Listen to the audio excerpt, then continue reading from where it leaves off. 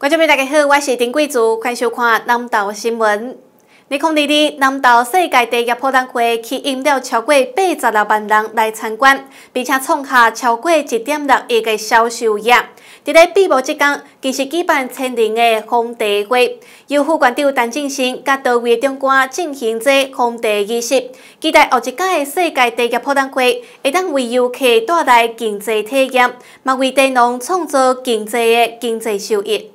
为期九天的南投世界第一博览会，三百个单位甲三十个特色展区，吸引了八十万人前来参观，并带来超过一点六亿的经济产值，为南投县的第三亚创造高峰。八十万人的爱好茶叶的游游客哈，来到南投购买茶叶，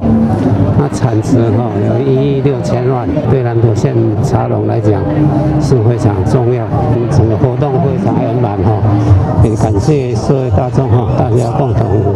支持这项产业的发展。活动的最后一天，带着主千位民众做回来体验古早红茶文化，然后大家会使纪念当时的心情，也对这项文化的传承甲推广有重要的意义。在我们生活里面，一定会有一些没有喝完的茶，你可以借由你想要讲的话，用一个字、一句话或者一首诗，用毛笔呢写在这张纸上，然后呢把它跟茶叶一起封存起来。我想经过三年、五年或者更久的十年。二十年，当你打开就会转运，用这个方式啊，把茶叶跟梦想一起封存起来，可以蛮值得推广的，因为它把一个文化跟艺术，还有把把品民的这样的一个软性的诉求，然后带给一个我们生活上一个很好的结合。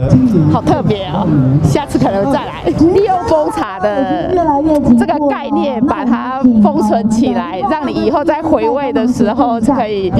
可以知道当初自己是有什么向往。为咗民众拢是头一个太阳红茶，大家拢将家己的愿望写伫批纸顶面，把甲美好的回忆做回来收藏，等待未来有一天会使重新回味当时的快乐氛围。很高兴，你把这个茶封起来以后啊，然后过了几年，你再拿出来喝的时候，你会会想到你的整个过程。因为我觉得我想要，诶，